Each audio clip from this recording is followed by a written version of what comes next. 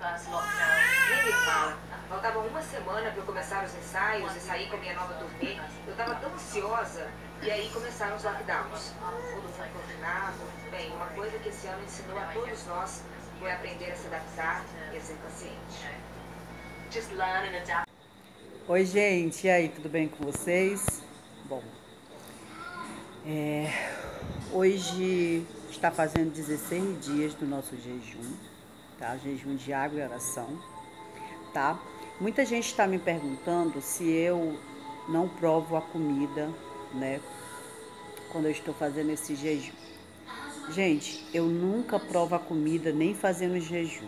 Eu nunca provei comida. Toda comida que eu faço, eu sempre faço assim naquele, naquele, naquela pitada, naquele tempo que eu sei que, que tá bom, entendeu? Então eu nunca provo comida, nunca provei. Eu já trabalhei em restaurante e eu era muito chamada atenção em relação a isso, porque eu não provava comida. Não provo comida de jeito nenhum. Isso é uma grande é, coisa minha mesmo. Então, não prove comida, tá? Respondido aí. Segundo, muita gente tá, fica perguntando, é, dizendo que eu sou louca, falando um monte de coisas. Muita gente. Gente, queria dizer para as pessoas que não adianta você me criticar, você falar alguma coisa, me esculhambar. Porque eu estou fazendo jejum porque eu quero. É um único modo que eu tenho para compartilhar com as pessoas, ajudar as pessoas.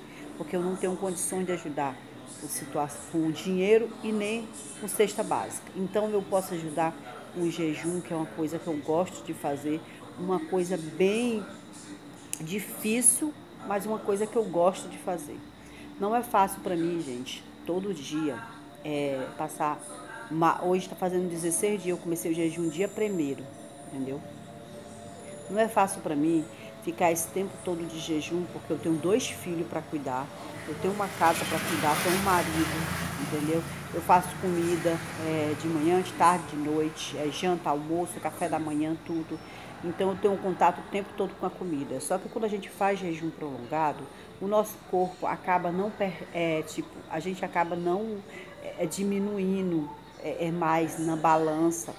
Às vezes quando a gente perde muito peso. Eu já perdi muito peso já, antes de começar esse jejum, eu já tinha começado, eu tinha, faz, eu tinha feito já outro jejum já, né? Então eu já tava, já tinha vindo de um jejum bem prolongado, onde eu tinha perdido muito peso.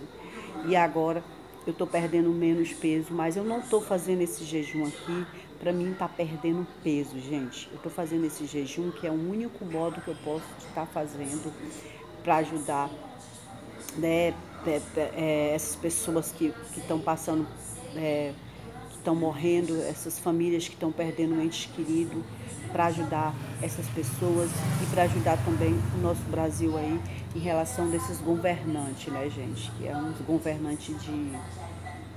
Que não vou nem falar a palavra aqui, né? É uns governantezinhos que só Deus na causa, né? Então, eu estou fazendo meu jejum para isso. Muita gente perguntando, e aí? Quanto quilo tu perdeu?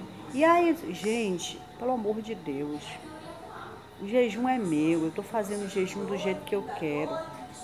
Entendeu? Eu estou compartilhando com vocês para mostrar para vocês que a gente pode sim estar tá fazendo um ato pelas pessoas quando a gente não tem uma situação financeira boa. Entendeu?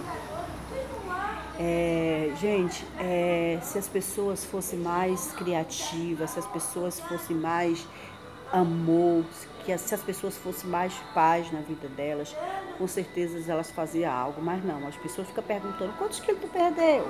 Quantos quilos tu tá hoje? Sabe? Nem pergunto, nem, nem dizer assim, força para ti, que Deus te abençoe, que vai dar tudo certo. Nosso Brasil vai é, é, é, é ter boa notícia, que graças a Deus a gente já está dando boa notícia, né? Porque aqui no Amazonas já está é, ficando de vez em quando no amarelo, então a gente está com uma boa notícia em relação a isso. Só que eu estou esperando terminar esse jejum com uma boa notícia em relação ó, financeira, gente.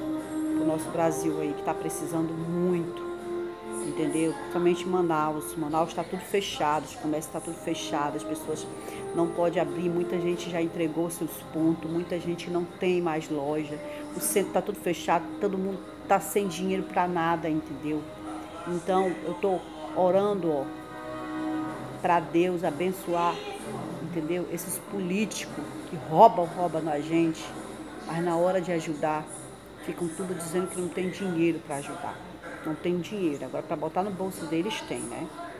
Então, não vou nem falar sobre política, eu não, não gosto de nada de falar sobre política que me irrita, entendeu? Então, gente, é isso aí. Tô orando para Deus abençoar esses políticos, é, abençoar com uma, sabe, uma coisinha boa na cabeça deles, para eles poderem ajudar todos nós que estamos precisando.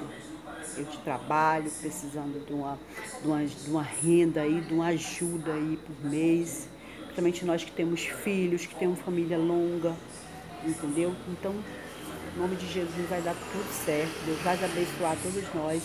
E tá aqui 16 dias hoje. Se inscreve no canal, curta e compartilha. Estou continuando meu jejum. Não desista se você estiver fazendo jejum comigo. Oração e água. Oro duas vezes no dia, de manhã e de noite, tá? Quando eu acordo e quando eu vou dormir. E só água, gente. E lembrar, gente, que quando a gente está fazendo esses jejuns longos, esse jejum longo a gente perde o apetite. A gente se torna um dia como qualquer dia a gente tira totalmente o apetite. Então, eu, a gente não sofre quando a gente está fazendo esse jejum prolongado, entendeu?